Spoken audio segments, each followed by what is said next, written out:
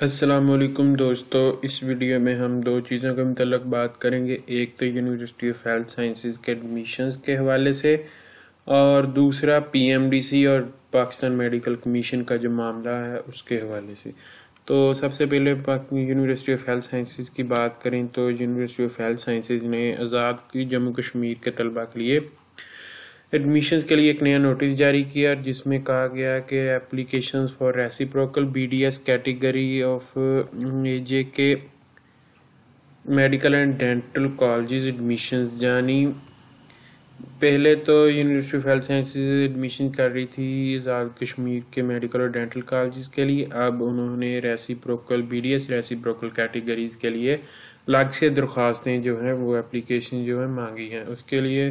Link دیا گیا ہے طلبہ وہاں پر جا کر اپلائی کر سکتے ہیں اس کا کیا پروسیجر ہے وہ بتائیں گے all those candidates who have submitted the U H S admission application 2019-24 Jammu Kashmir medical colleges and want to apply for additional categories including reciprocal BDS as required to submit online application form along with the following documents no later than 11th of November 2019 اب یہاں پر کیا گیا کہ جن طلبہ نے دو ہزار انیس بیس کے لیے یو ایچ ایس کے ایڈمیشنز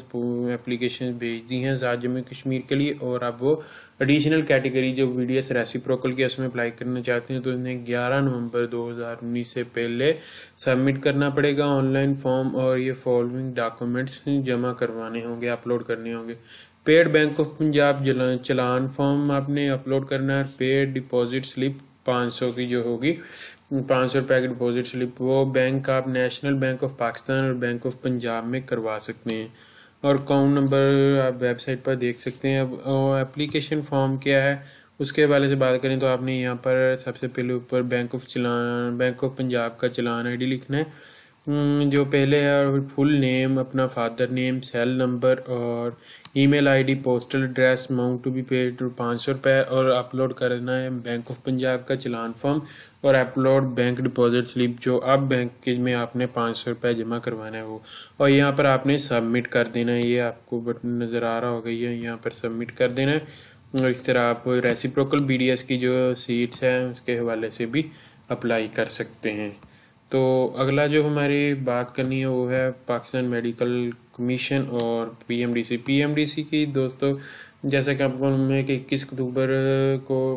صدارتی آرڈیننس کے تحت پی ایم ڈی سی تحلیل کر کے اس کی جگہ پاکستان میڈیکل کمیشن بنا دیا گیا تھا پاکستان میڈیکل آرڈیننس دو ہزار انیس کی روشنی میں۔ تو یہ کافی دنوں سے پی ایم سی کے اوپر عمل درآمد ہو رہا ہے اور کونسل وغیرہ بھی بن رہی ہے۔ کونسل کے اراکین کا انتخاب بھی ہوا جس میں صدر اور وائس پریزیڈنٹ جو چنے گئے